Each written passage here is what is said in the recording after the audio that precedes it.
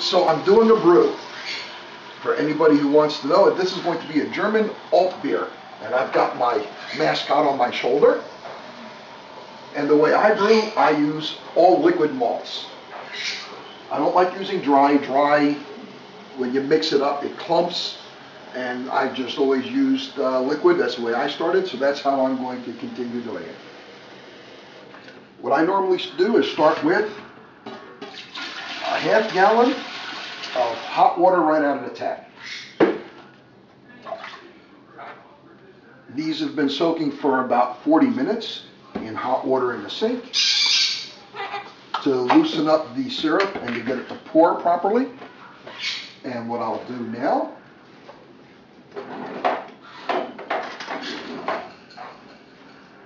is just open it up and I'll pour this into the half gallon of water.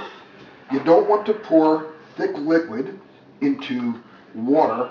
You don't want to fill it up with the, with the full boil amount because then it won't mix. So this pours really easy. I'm going to pour about half of it in there and stir it into the hot water. That'll help it dissolve. Now my alt recipe is 3.3 pounds of pills Pilsen liquid malt, 3.3 pounds, and I use Briess, Briess liquid malt, 3.3 pounds of Munich, and then to give it color and the caramel flavor you want in, in a German alt beer, I use 3.3 pounds of sparkling amber. And that'll give it the nice golden amber color that German alts are known for. And what I'll do now is I'll dilute this with some hot water. Mix it, because I only poured half out. So now I'll just go ahead and dilute this a little bit more so it pours easy and doesn't sit and clump and scorch on the bottom when I start to boil.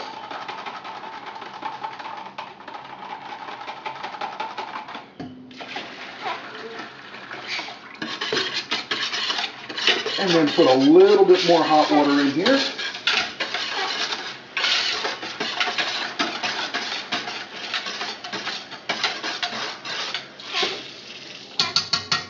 Put the cap on it. Give it a shake to get all of that sugary goodness out of here.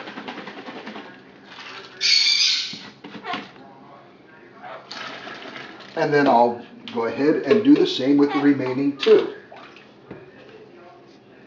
And what I'll do is I'll take the one of these, I'll pour half of it into the empty canister that I now have. I'll dilute both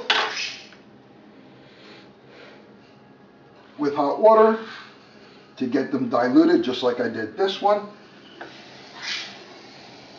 Give them both a shake after I rinse them and then do the same with the third one. Okay, so I filled up my pot. This is a five gallon brew pot. I fill it up to four and a half gallons because during the boil, you're gonna boil for 60 minutes. You're gonna lose roughly almost a half a gallon in a 60 minute boil. So that's going to take this down to roughly four gallons left here. And then in my fermenter, I'll make up the difference with cold, clean water to bring it up to a total six. I brew six gallon batches, not five. And you can see the color is a nice, rich copper brown. We're gonna set this to boil. So all the foam is out. I like getting all the foam out because when you put the hops in, what will happen is as soon as you put the hops in, the hops will start to foam up. And the more foam you have in there, those hops are going to foam up and kind of boil over. The very first time I did it, we had a boil over. And there was foam everywhere. And you don't want that. Okay, so folks want to know why you start with a pot this big. You want to get as close to what is called a full wort boil In other words, no concentrate, your full volume that you're going to boil because you use less hops overall. The more concentrated the sugars are from your liquid malt that you put in there, the more of the hops it's going to take to, uh, to go ahead and balance out the uh, sugars with the bitterness. So basically, the thinner the liquid is, the more room between the molecules for the flavor of the hops to go ahead and infuse, the less hops you need to use. This is going to take roughly 30 minutes to come to a boil. So, you know, this is just going to sit here until it starts a rolling boil. You don't want it to just steam. You really want it to get it going. And then we put in the hops. I'm going to be making an alt beer. We'll be posting the recipe for the alt beer. There'll be a link in the video to our Facebook page. This is Dragon Brew Supply. And the Facebook page will have the recipe for the alt printed there. I'm using a mix of three different hops up front, and an alt beer has very little hop taste to it. It's a very, uh, it's not a very hoppy beer at all. It's a German ale. It's an old-fashioned ale, and uh, so all the hops really go up front, and a little bit of hops about 20 minutes before the boil gets done to give it the flavor, but not have any aroma of the hops.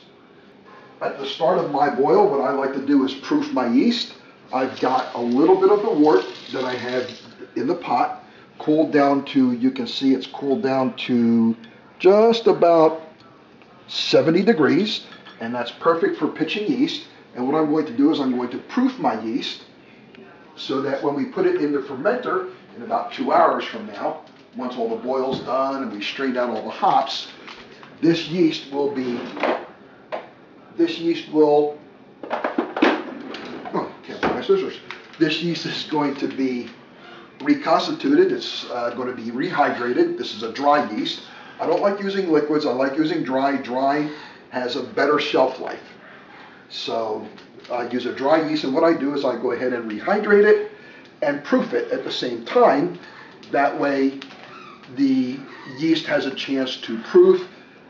I'll see that it's active, it'll foam up, and then we pour that into the fermenter when the uh, wort is cooled down enough to take the yeast. And so I'm going to rehydrate my yeast. Just give it a pour, give it a stir. And this yeast is going to start to work. And like I said, I'm going to leave this for the extent of my boil, which is going to be roughly two hours. It's going to sit here, it's going to foam up. It's going to proof, it's going to start doing its thing, and then once it's proofed in here, I'll go ahead and add it to the fermenter. When we're done, and at this point, all I'm going to do is cover this with a little bit of clear cellophane and just let it sit until I'm ready. Okay, we've got a boil going. You can see that it's up to a rolling boil. Now what I like to do so that we don't get a, a real heavy boil over, I like to turn it right down to a simmer.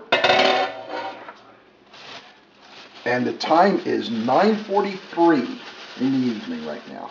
Now I'm going to put my hops in just a little bit at a time, and you're going to see that they're going to come up to the top. If you dump all the hops in there all at once, it'll boil over. You don't want to do that.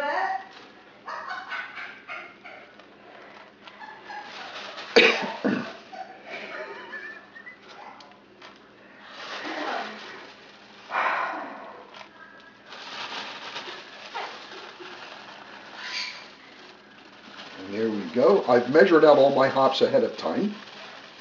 My recipe called for a mix of Hersbrucker, Tettnang, and a touch of Fuggles.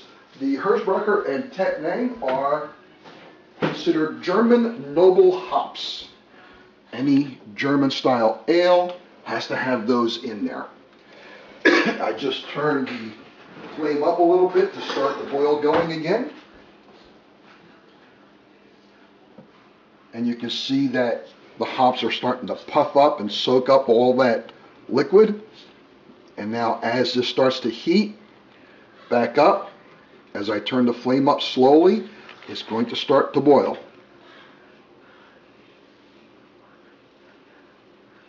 And yes, it is a green, goopy mess right now.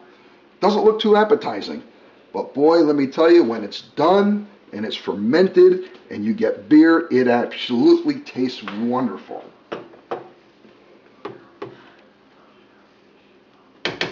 Slowly bring this up making sure that we don't boil over.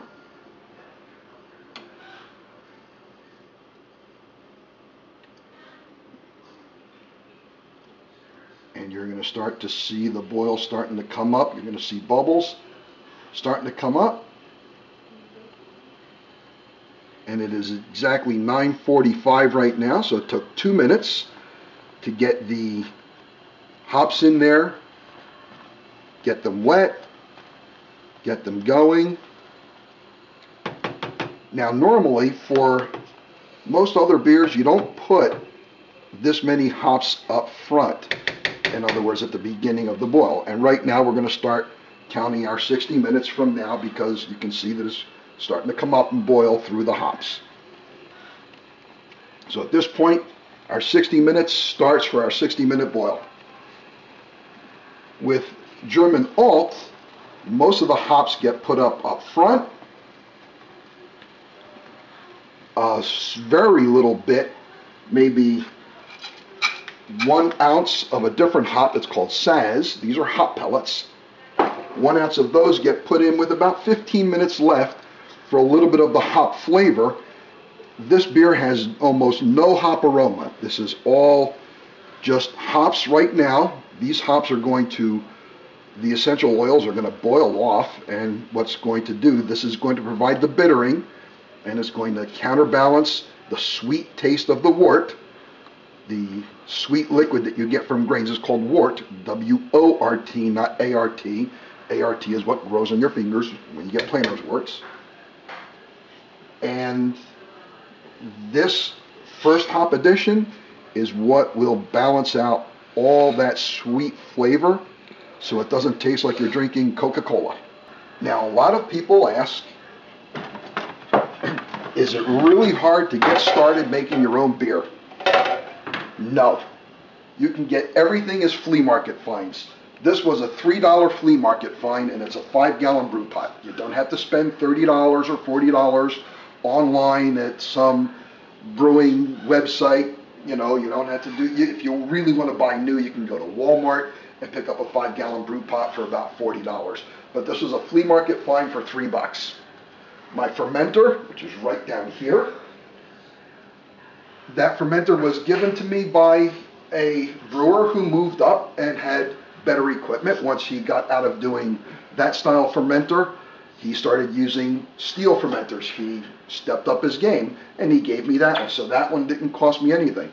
Uh, you'll need an airlock for the top of the fermenter to keep germs out while the um, while the yeast is working and expelling CO2.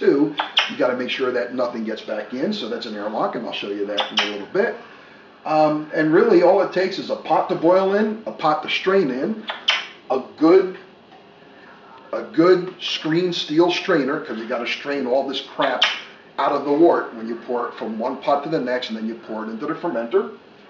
And really that's it. It doesn't really all take all that much. The only other expense is going to be bottles uh, to bottle your beer up with, but you know, that'll happen two weeks from now when we bottle this and I'll show you the bottling process and even what I use to help bottle I got for $14 at Walmart just to hold my liquid while I had made up my own little spigot with parts from Home Depot to go ahead and fill up my bottles. And there you go. Okay, we are now 40 minutes into the boil, which means there's 20 minutes left. I'm going to go ahead and you can see that all the, that big head of green foam has boiled in and it's rolling around really well. And at this point, I can add these slowly and they won't boil over. This is the second edition. And Alt only gets two. It doesn't get the final at the end, normally like three to five minutes at the end. If you want the aroma of hops, if you want it to smell hoppy. And I'm avoiding that. I don't want it to smell hoppy. This is going to give it the flavor. The bittering is done. This is a different style hop. This is another German noble hop. It's called Saaz. and you can see that the hop is soaking water and now it's floating up to the top and that's all going to start to boil in. If you notice, we've probably lost close to a half a gallon of water over the course of 40 minutes. You can see it was all the way up here and now it's down to there. And if you come over this way, you can see that our yeast has proofed nicely. It's developed a nice krausen on the top so the yeast is doing its job and it's proofed. This, I'll knock that foam down right before I pitch it into the wort when the wort is chilled enough. Okay, our boil is done. There you go. I turn the, the flame off. And now what we're going to do is we need to strain. I've pulled a gallon of cold water to use later. And my funnel is just a, a um, juice bottle, cut the bottom off. This is low budget beer making. I use a rather unconventional method to get my wort cold quickly. I cold crash it in the fermenter. I fill my fermenter up with about halfway full of ice and then I pour the boiled wort into it. And what it does is it brings the total capacity up to five and a half gallons where I just add a little bit of water because it'll all melt and that also cold crashes my wort and my trub drops out immediately. Within 20 30 minutes it's just collected on the bottom because it's a cold crash. The very hot liquid against the ice that I put in my fermenter to start. My fermenter is a heavy plastic. It's a Nalgene uh, the company is called Nalgene. It's a Nalgene laboratory bottle used for chemistry and it's got a very, very thick walls. It can take very hot liquids. Don't try this with a glass fermenter. You don't want to do it. You need something plastic and thick if you're going to do it this way. You can also get a wort chiller, which looks like a big copper coil that you stick in here once uh, the boil is all done. And then you run cold water through it from your tap. You have to have a special adapter on your sink.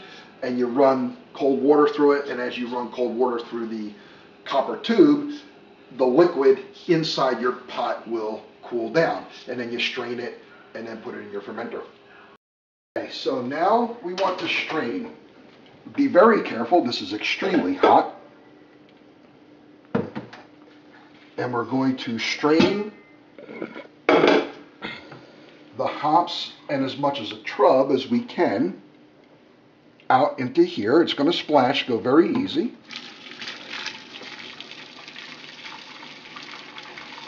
You're going to get a little bit of running down the side. You're going to lose a little bit of liquid, but it won't be that bad.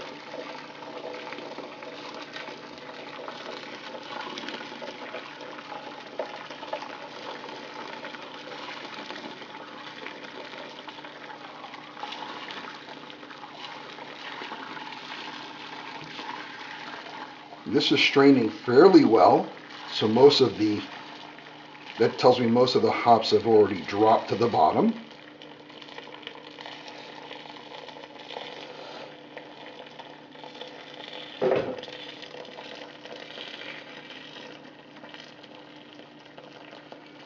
There you go. And now it's starting to, now the screen is starting to clog up.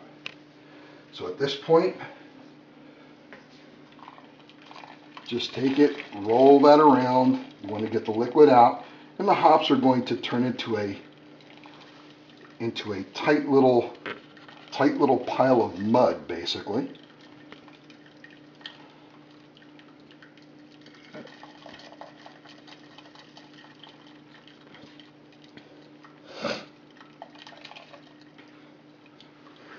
And you can see it right there. That's the mud from the cooked hops.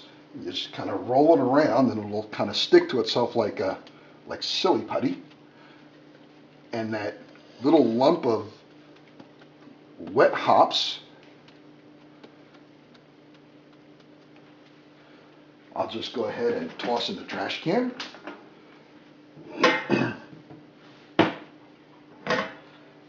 strain a little bit more, and then we're going to have to put that in the fermenter so that we can get the rest of this strained.